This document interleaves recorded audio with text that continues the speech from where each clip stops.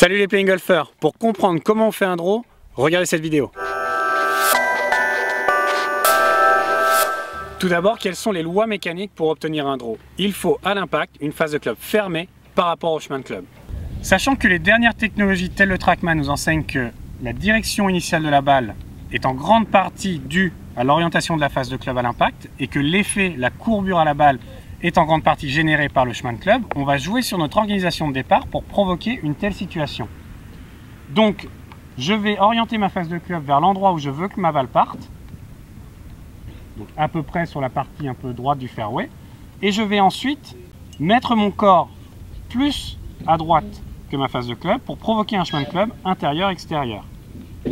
Il ne me restera plus qu'à swinger sur cette nouvelle ligne que j'ai créée et mon chemin de club sera intérieur-extérieur. En conclusion les playing golfers, il est toujours plus simple de changer une position statique, l'organisation de départ, plutôt que de modifier son geste. Donc prenez la bonne position et les balles sortiront en draw à tous les coups.